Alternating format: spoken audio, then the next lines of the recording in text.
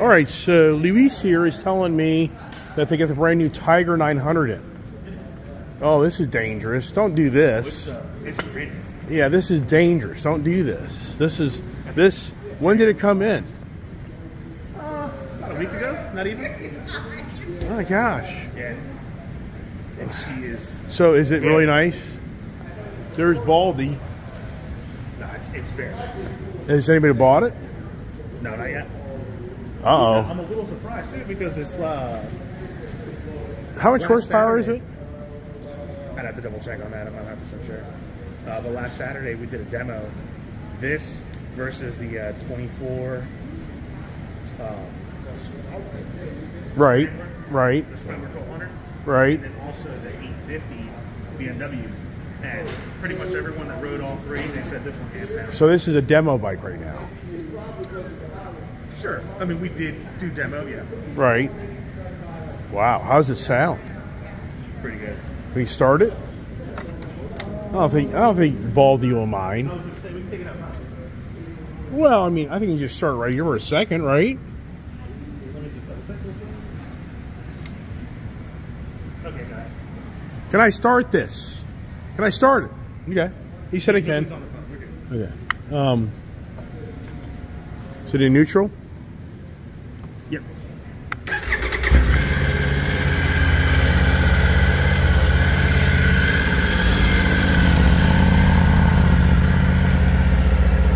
Now, borderline, better off buying this than 1200, right?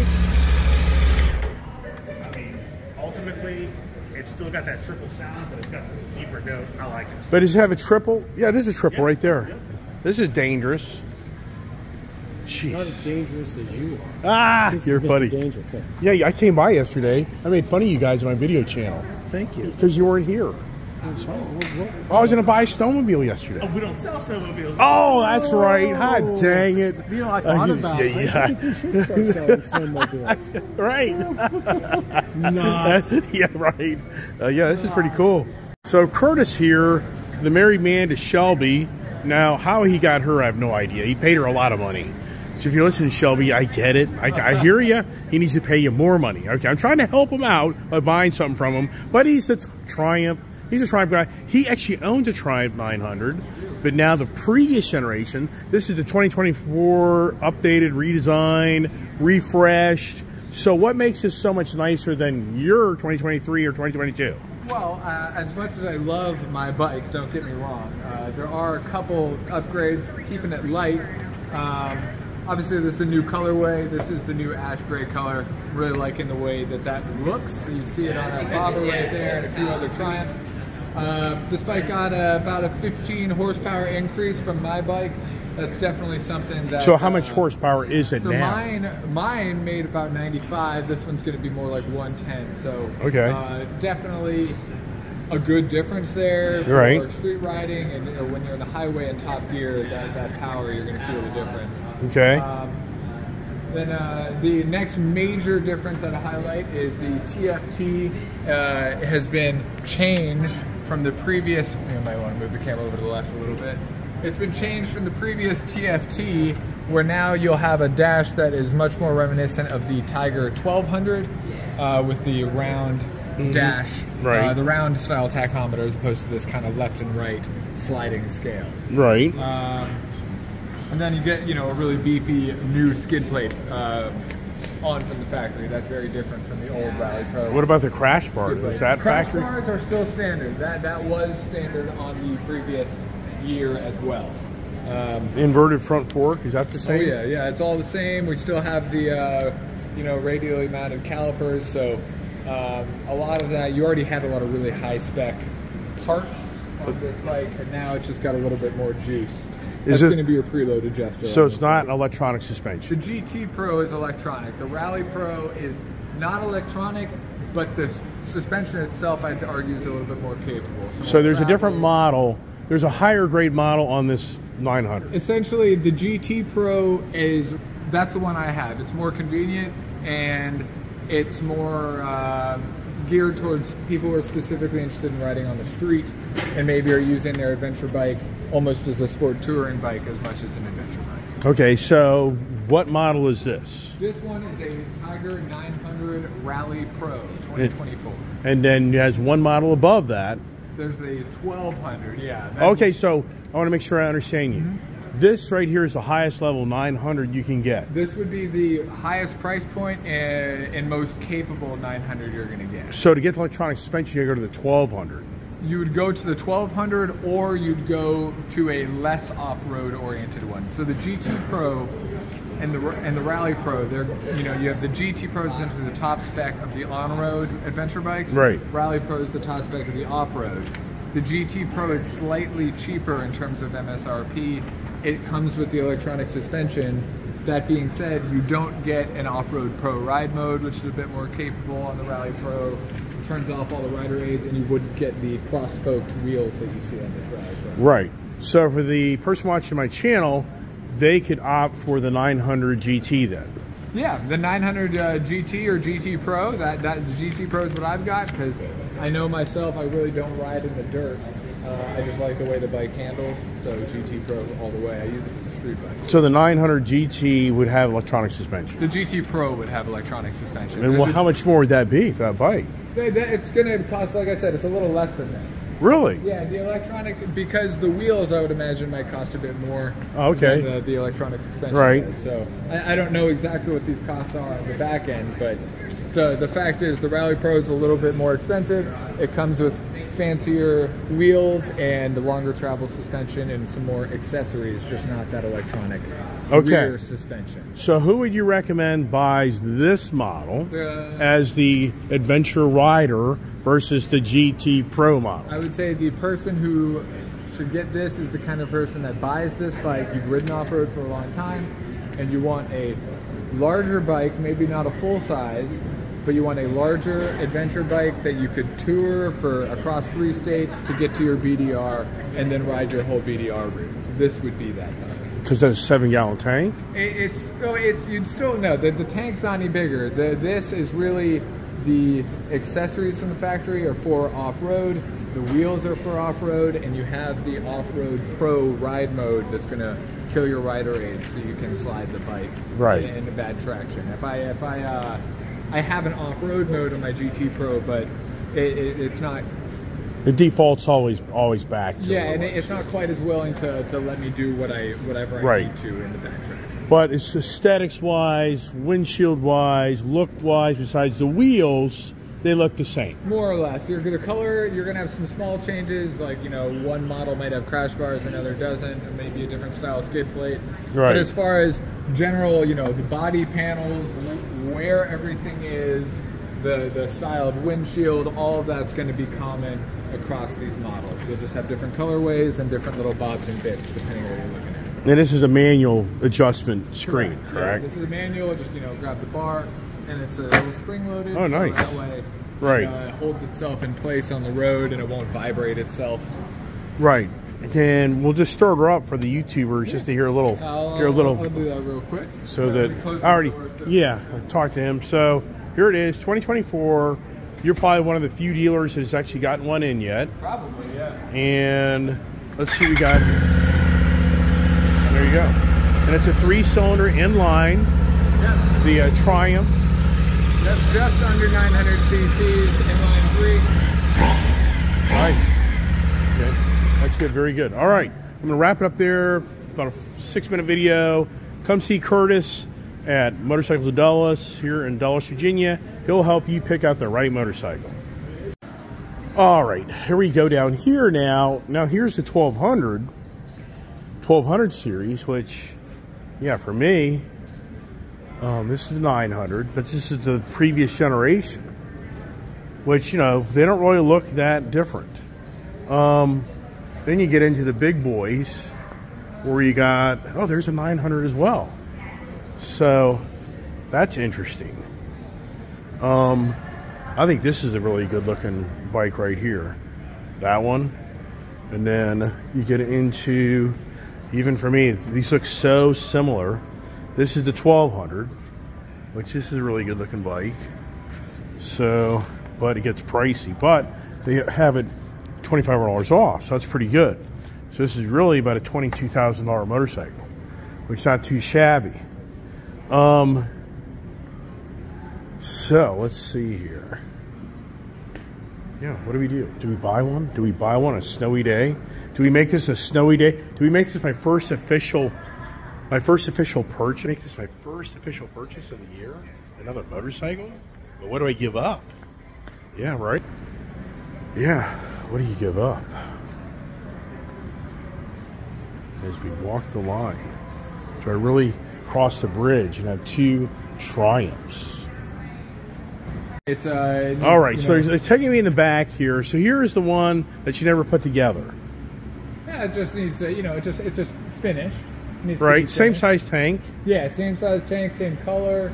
But what's the big difference between the, the Rally versus the GT or whatever? So the the GT is essentially just going to be the best bike it can be on the road. So with those mag wheels, you'll get a little bit more direct road feel. right. Um, you know, you're still going to have the blind spot detection. You're still going to have the really big uh, tank.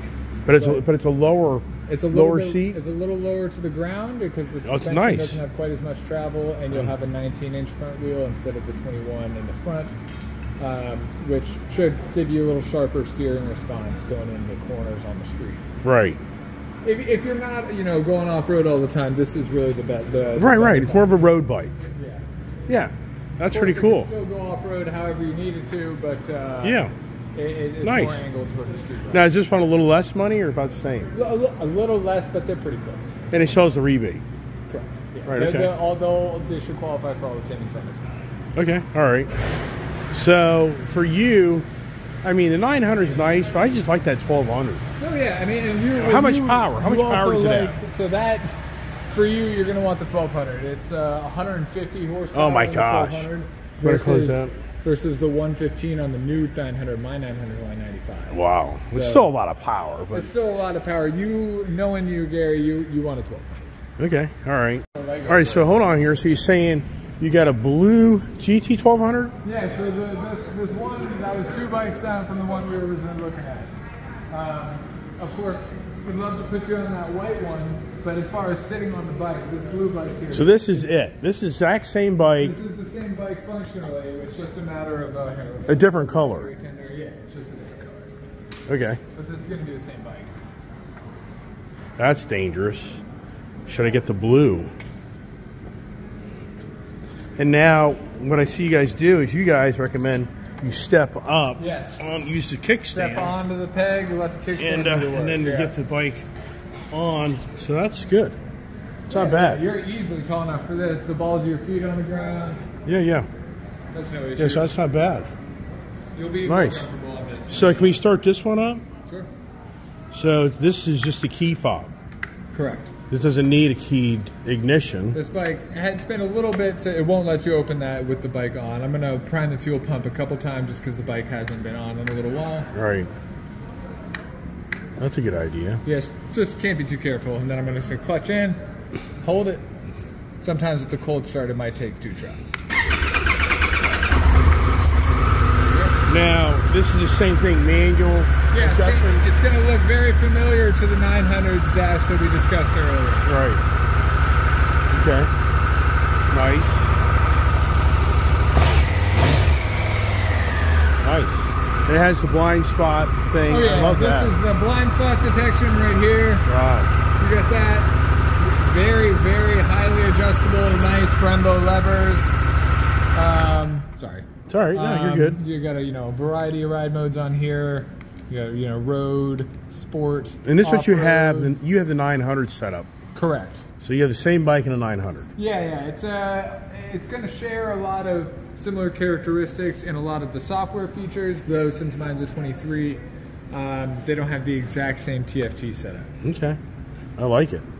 I really do. I mean, I really like on how the uh, it isn't that bad getting off and on because I've had so many of these bikes and it's such a challenge to get on them and off of them Yeah. because they're so tall And, and it isn't that enjoyable. It's pretty easy bike to move around too, since you got so much steering angle. But I kind of like the white because of the black accent. I- I, think that black kind of gives a little bit more flair for me. And it's, for me, blue is my favorite color. My Tiger 900 is blue, but frankly, I think I agree with you as far as the Tiger 12's colors go. Also, Snowdonia white in particular is a nice white because it's got this cool kind of metallic flake Right. finish to it. And uh, I don't know if that's coming through for your audience here, but uh, Snowdonia So- it looks good in person. So somebody's on the different Tigers. The 1200, of course, the biggest thing is more money. But what you're getting is a bigger motor. You're getting more power. You're getting the blind spot monitoring. You're also Um, getting the small, small little things. Like for instance, this bike's got uh, hill hold. Oh, wow. 900 doesn't have. Oh, I love that's that. a small little piece. But you know, people always think about hill hold with oh, so I don't roll backwards at a stoplight. Honestly, th- my favorite time to use hill hold is when you're at a stoplight facing down a hill. Right, right. Because I don't know about you, but like Yeah. the uh, trying to hold the bike in Right, place right. you're like Yeah, falling down a right. hill can be kind of tough. Right. So hill hold is nice for that. Right. Uh, and it kind of automatically releases as you get into the friction. What about um, the, the size fuel tank on this versus the 900? What size? So you're gonna have a difference. I'd have to look up the exact liters. It's a little shy of a three gallon difference between them. This is gonna be around 7.9 gallon Okay. fuel tank capacity. Um, so it beats the BMW GSA. Uh, I want to say by like a tenth of a gallon in terms of total capacity. What about the 900 though? What size tank is that? 900 that? is going to be uh, around five gallons. Oh wow! So I you get about 200 miles between fill-ups on my tire. okay? All right. Um, so we're looking really looking more at this model. So the GT, this is the GT, Explorer. and that is the Rally Pro, That's the Rally Explorer. Rally Sport. Essentially, So if you see blind spot detection on the mirrors, you're looking at an Explorer. Blind spot's the Okay. easiest thing to, to pick out. right, okay. But what I'm saying to you is, from the GT to the Explorer, it's the wheels, number one. From the GT to the Rally. Yeah, GT. Yeah, that's what I was saying earlier. GT to the Rally. It's the difference. The wheels. Yep. This is a little lower to the ground. Yep. This is an 18 inch versus a 21 inch. 19 versus Nin- 20. You're- you're 19 doing versus- great. You're doing great. Okay, so smaller front tire. Um, And there's also going to be some software differences. The, the Rally Pro's got a ride mode that the GT Explorer doesn't have. okay, It, it's because got the off-road pro ride mode. right. All right. Um, just got suspension. All kind of looks. Yeah, And what about uh, crash bars? Both have crash bars. Yes. So the GT Explorer is going to get lower crash bars only from the factory, while the Rally Explorer gets the uppers and lowers. You can put the uppers on the GT Explorer. You just have to add. But now the tire tread on the back, um, more street. This is more off road, a little bit. Yeah, for sure. These are going to have the uh. I think So this here, let's pull this out just to see how much difference it is for me seeing that bike to really see what we're talking about on really how much different it is. Here, you want me to film it while you? So let me get on there. I'm not used to getting on the bike that way. I'm used to. So let's see. So yeah, Yeah, it's, it's it not, but it's not radical. No, I'd say you're about a third of an inch taller. Granted, I think I can raise that seat a bit. You're in the low setting right now. I think I can actually raise you up by another inch or so. Well, I wouldn't want to go up. I'd no, want to go down. No, I don't think you'd want to go up. You'd, be- you'd Right. want to go down from Okay. So resale. Who's looking for what? Sorry? Resale. Resale. Who who is going to buy this versus the road bike? You got the road bike versus the real off-road bike. I'd say that uh, I, I would look at this, the Tiger 1200 Explorer, generally as because the, the engine's amazing, uh, and, and the electronic suspension it can be very sporty if you want it to, but it's also very flexible. So you know, while these are adventure bikes, you really can do anything on them. Um, I think the best way to look at the Tiger 1200 specifically is as a real on the GT Explorer. It's an extremely capable uh, adventure bike that I'd say is almost in the realm of being like a sport touring bike, where it's it's aggressive, it's fast, the handling is excellent, uh, and you'll be in comfort and can carry your stuff. Uh, this will just have quite a bit more off-road capability than your traditional sport touring bikes like a Kawasaki Concourse or uh, S1000 XR. or Right. Ducati Multistrada. Right. So, but the price is so basically the same, right? I mean, you're talking like a seven hundred dollar, eight hundred difference. I've got to. Uh, I've got a customer up front, Gary. Yeah, go ahead, go ahead, go take care of him. Here, move this back so he doesn't get anybody's way. That way you, you don't get called out by John. Oh, it, it would be him. All right, I got to take a time out. Got to take care of some business. And do now? Do I do I buy a Triumph Tiger and give up one of my other bikes? It's always the adventure, and and that's what I'm debating. Do I give up one bike? But what do I give up? So what would I give up for a Triumph Tiger? Stay tuned.